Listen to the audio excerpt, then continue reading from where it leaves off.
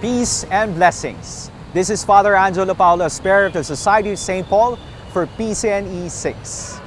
Taking seriously Pope Francis' challenge in his latest post-synodal exhortation, Christus Vivit, that is to listen, to dialogue, and to journey with the youth who are not only the future, but the present of the world, around 5,000 participants from the country and from other parts of the world gathered for the sixth Philippine Conference on the New Evangelization here at the Royal and Pontifical University of Santo Tomas, Quadricentennial Pavilion, España, Manila.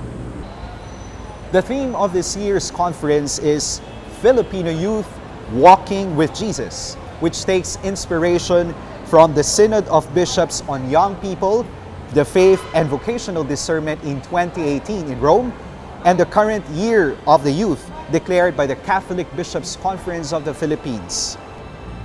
The first day of the PCNE 6 for All conference began with a call to worship and procession of Our Lady of Piat as a preparation for the Misa ng Bayang Pilipino presided over by Bishop Rex Andrew Alarcon, Bishop of Daet, and incoming chairman of the Episcopal Commission on Youth.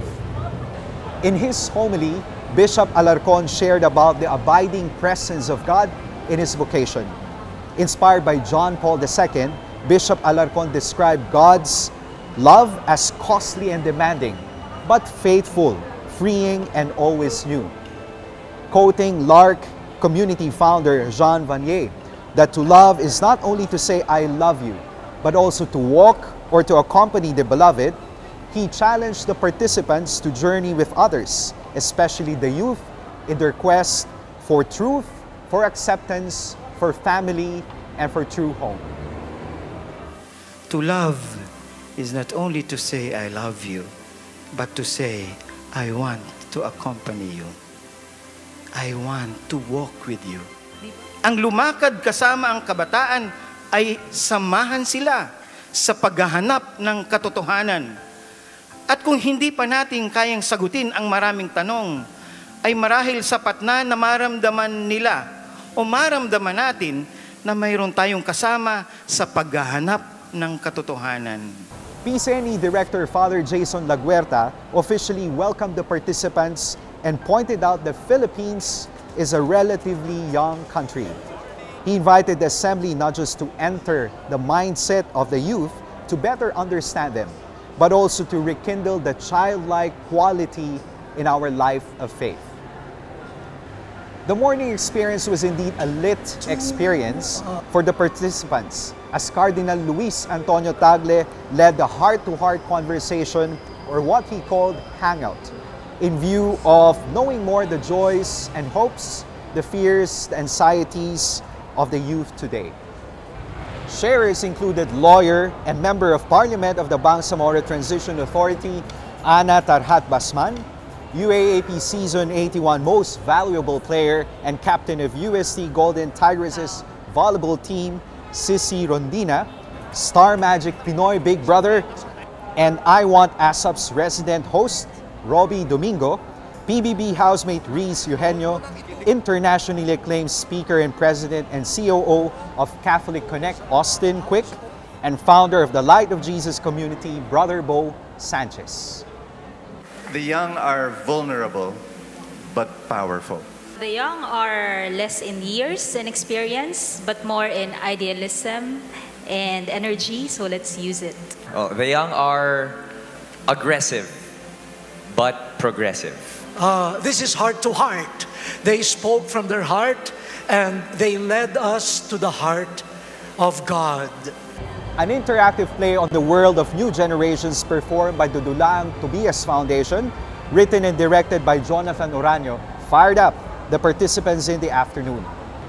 Using the media of arts and drama, participants were made aware of several pressing issues confronting the youth today, like lowering the age of criminal liability, child labor, teenage pregnancy and abortion, lack of job opportunities, prostitution,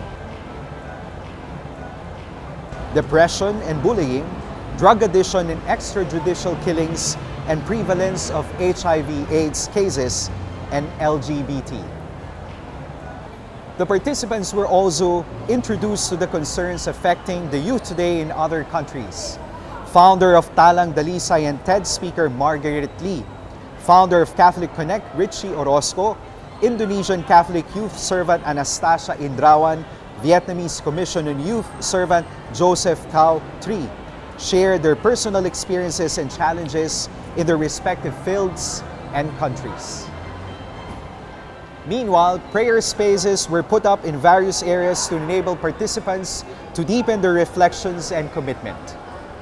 Prayer spaces include chapel, rooms for the sacrament of reconciliation and counseling, even digital pathways such as mobile application activities at the Alfredo Velayo Accountancy building.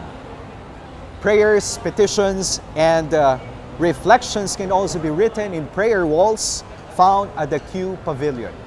Participants can also visit and meditate in the prayer labyrinth at the Albertus Magnus building. The day ended with an evening prayer led by Bishop Broderick Pabillo, Auxiliary Bishop of Manila. The first day of the PCNE 6 for All may have been a jam-packed day of inspiration and challenges, of mutual learning and listening between the church and the youth today.